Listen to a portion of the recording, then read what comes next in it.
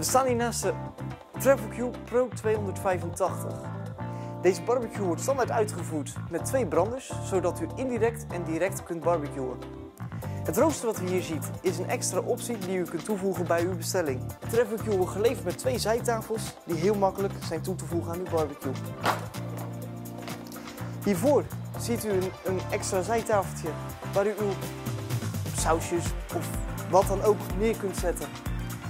De gasfles kunt u heel makkelijk aan de achterkant opbergen, zodat, zodat hij makkelijk uit het zicht en niet in de weg staat. Dit is de Travelcube Pro 285.